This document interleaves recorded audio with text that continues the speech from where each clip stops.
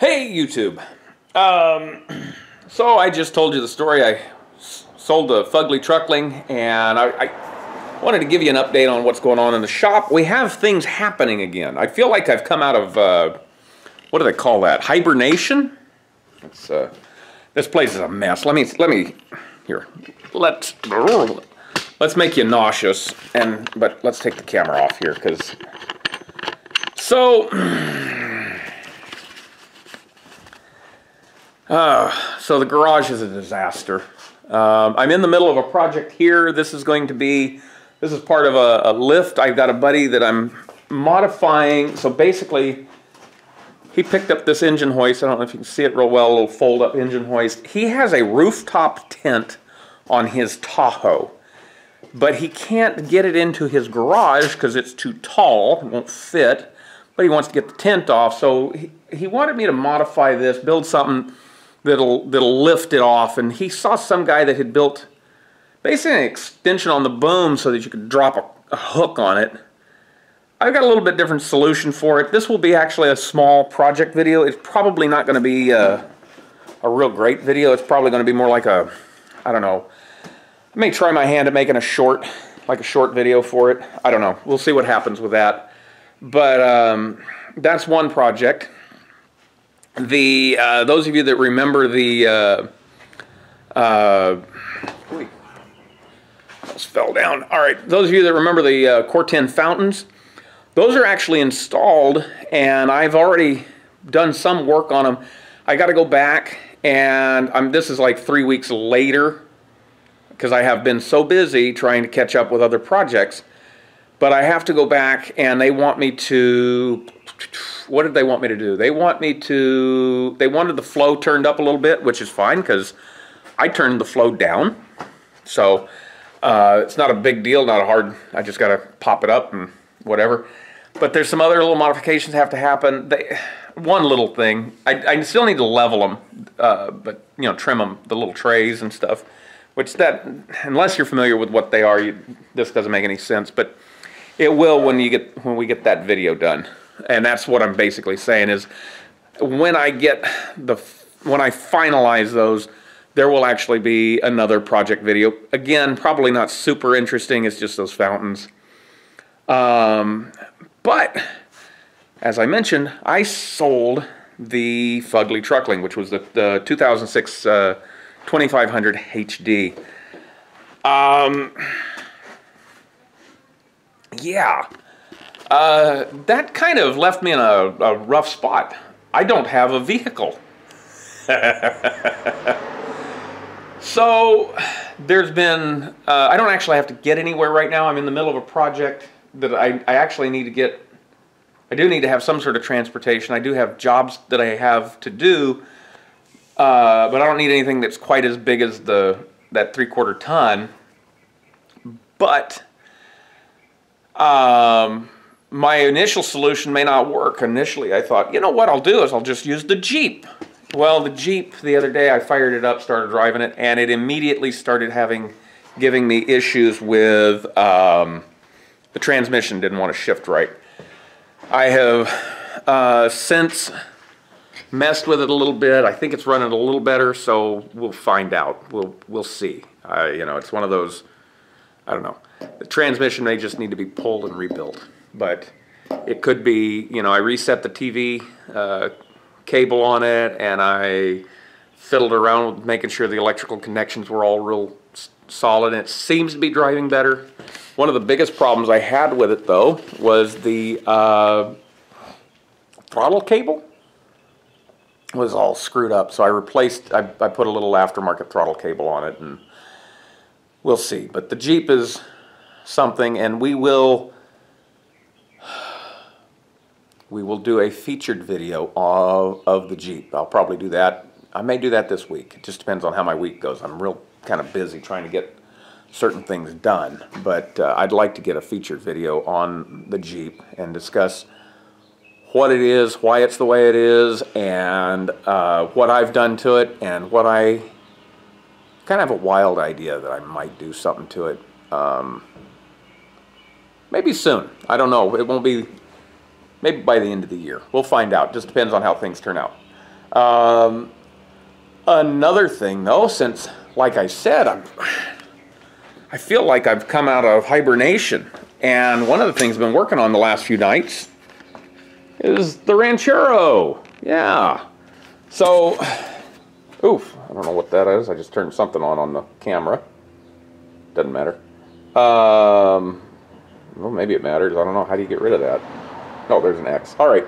So, um, what I'm working on right now, I've had to make a few pretty major deci- you know, a couple of major decisions. One, where the battery used to set is up here. This is where, when it came from Ford, the battery set here, a little 24F um, battery, sat here.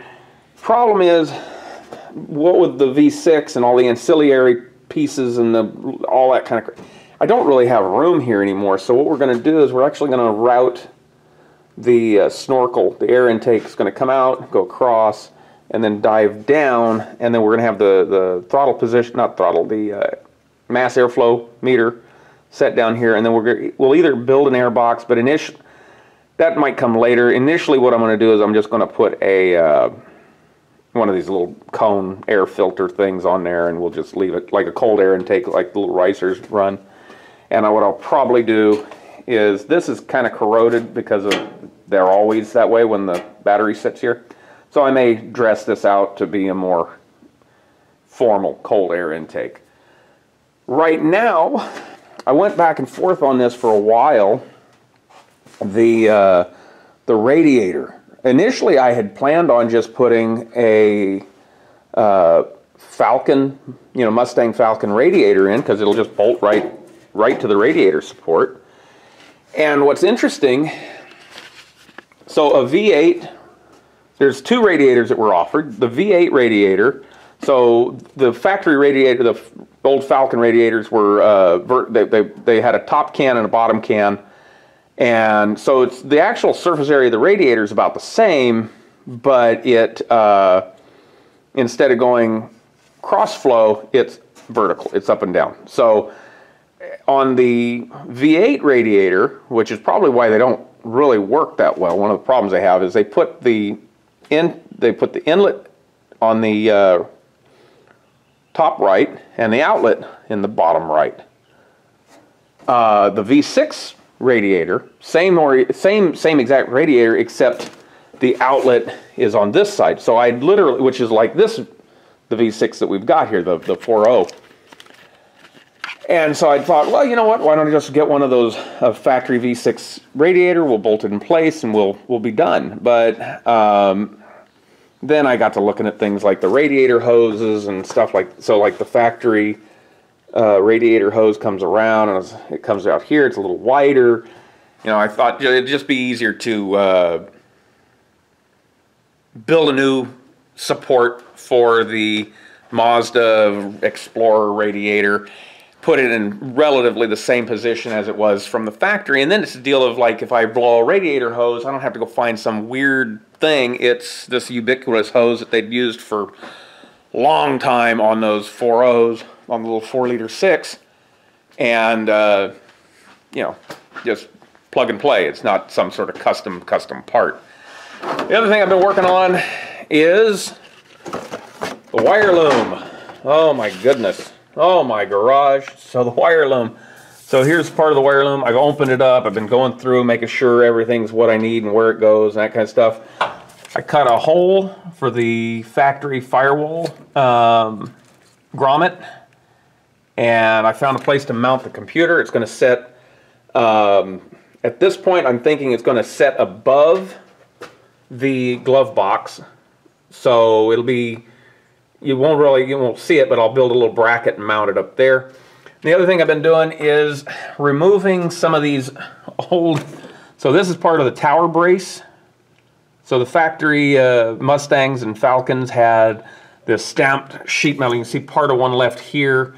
This guy, I'll cut this one off too. I, this, I still have some nice things down under here that'll cut you open. I got to get rid of those. But uh, while I was at it, so I, that's what this cardboard was here for. But I'll cut that loose clean that up. But they used to come, the brackets, the braces used to come back over here and support the shock towers because the fenders were built up. They had the shock towers, and that was part of the suspension. And uh, since we're now setting on a solid frame with a totally different type of suspension, we don't need any of that. And it's just in the way of the motor anyway.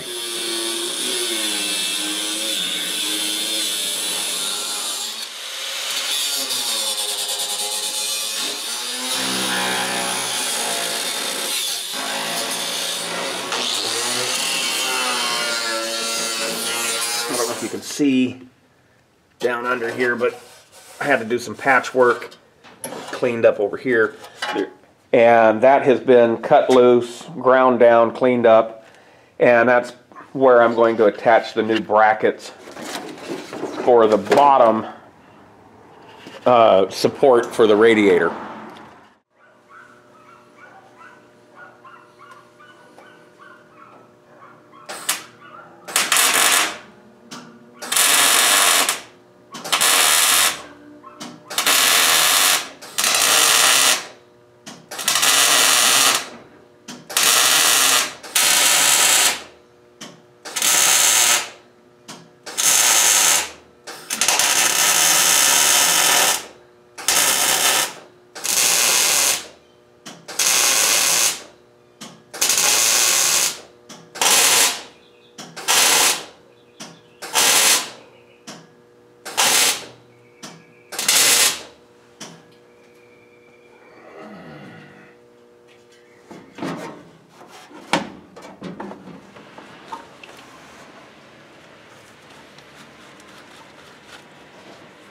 That's where we're at on the, the, the Ranchero. I never actually gave you some of the older updates though too. So some of the stuff that I did quite a while back. Oh, there's the computer setting on the transmission, transfer case, whatever. Uh, the original, the uh, Mazda transfer case was the push button transfer case. I managed to find this little guy right here. This is a standard one with a shifter. So you can see the shifter right here. There's my under dash air conditioner. Um, so it, they just swap out.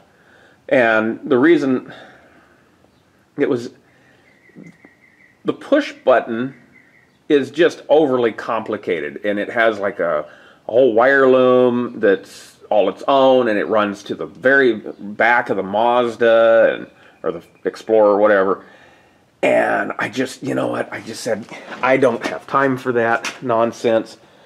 I would rather, I'd rather just the old school shift lever and be done with it. But uh, anyway, I think, I think that brings you up to speed. There's a few things work, you know, like I say in the works, but uh, there's a couple of great big doors that I got to build.